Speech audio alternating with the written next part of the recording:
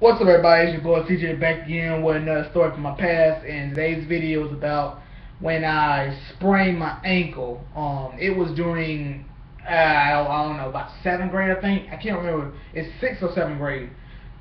And um, you know, in the gym, um, it's like the last, it's almost like the last class of the, um, of, of the, of school, you know, of the day, you know what I'm saying?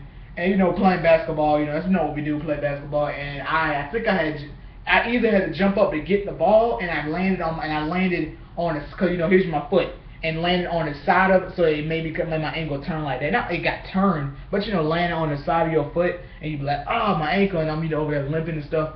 Or someone landed on my foot when I you know when I had to jump to get the ball and I got it, and then someone landed on my shoe and landed on my foot, and it kind of like you know hurt my ankle. You know what I'm saying? You know, going there limping to the coach to my A coach, man um, I can't I can't play no more. My ankle, you know, my ankle hurt. You know what I'm saying? He'd be like, look at me like, okay, you know what I'm saying? And then um, I mean, I don't, I don't know how bad. I can't remember how bad it hurt. I don't think it was hurting that bad. But when it happened, I was like, I was like, I, I want to continue playing, but I was like, ah, I was like, I can't, I can't um stand on it. You know what I'm saying? Um, that same day, went to the um doctor, and I and he, I think he told me it was just a, it was a minor sprain. It wasn't that bad. This is about a couple of days and it should be good. I think it was just one day and my ankle was okay. Um, I didn't have to wrap it up, surprisingly. Um, came back to school that same day with the note, gave him some, I can't, I can't work out, you know what I'm saying? He said, okay, sit over there in the sound of bleachers, you know what I'm saying?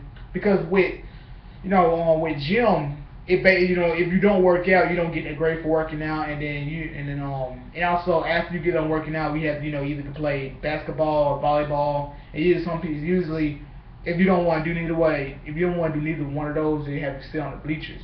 And you know, gave him the note, just like I said, gave him the note, stay on the bleachers for the whole day, and that was okay. Next day, I was I was ready to go.